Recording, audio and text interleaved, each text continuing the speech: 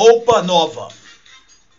Olha, depois que o Paulinho, esse excelente artista, um cantor que atravessou as gerações, quem já não namorou, noivou, casou através do som desse grupo.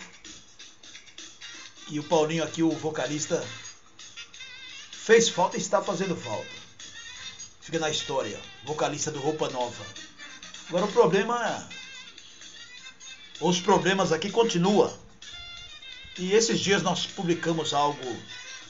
Aliás, esses dias não. Desde o falecimento dele, nas redes sociais, e principalmente a mulherada. A mulherada aí, olha, criticando muito a viúva do Paulinho. E agora, veja essa aqui. Viúva de Paulinho pede herança. Filhos foram à justiça no dia da cremação. Isso, palavras dela. Entre aspas. Vou repetir: viúva de Paulinho pede herança.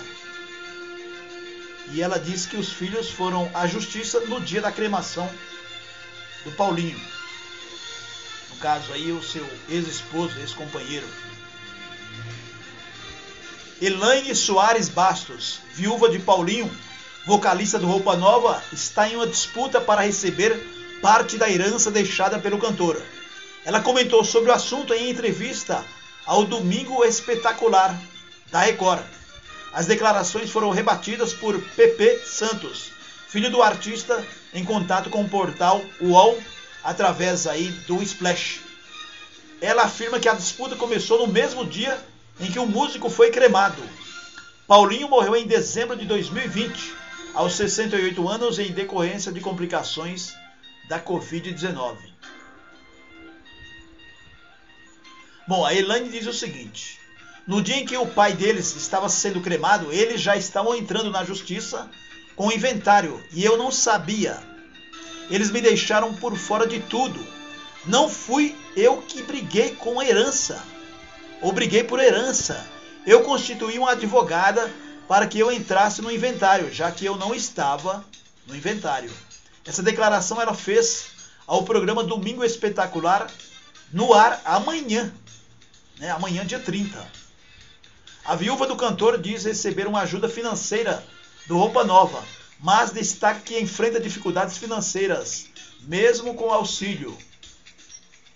Eles me ajudam de, da maneira que eles podem, mas não está sendo suficiente para arcar com todas as minhas despesas, explicou durante a entrevista. Bom, só faltava ela querer, querer agora também ser vocalista, né? Brincadeiras à parte, fazer parte do grupo para que eles possam ajudar. Estranho isso, né? Bom, a viúva admitiu que gostaria de ter um filho do artista em setembro de 2021. Tem os, os esperma, espermatozoides congelados porque em 2009 pensamos em ter um filho. Isso aqui você faz até matéria em algum lugar aí. Só eu tenho autorização de usá-los na hora que eu quiser. Mas como estou sofrendo um luto muito grande, disse ela em entrevista à revista Quem. Em contato com o portal Splash, PP Santos, um dos filhos do Paulinho, comentou sobre as declarações da Elaine. A reportagem também entrou em contato com a atriz e cantora Ting, mas não obteve retorno. PP Santos diz o seguinte: nos filhos do Paulinho, nenhuma pessoa tem poderes para barrar ou remover qualquer nome de um inventário, mesmo sendo herdeiro legítimo. Isso cabe à justiça, portanto, seria impossível termos feito tal coisa. É, tem muito a ver, né? Ele tá certo aqui, olha. A entrevista completa de Elaine vai ao ar no domingo espetacular do próximo, né? Neste dia 30, amanhã, às 19h45. O programa é apresentado por Carolina Feaz e Eduardo Ribeiro. Isso aqui vai dar pano pra manga, hein? Vai dar pano pra manga. É incrível, né? Você luta, luta, fica famoso. E depois pro descanso eterno ainda tem as famílias brigando aí pelo flamigerado dinheiro, que é claro que faz parte da vida, pelo poder econômico. Quem está certo, quem está errado, eu deixo a opinião para vocês que estejam nos ouvindo em qualquer parte do Brasil e redes sociais. Estação Imprensa é o seu canal YouTube, o Shopping da Notícia. Compartilhe, inscreva-se. Estação Imprensa.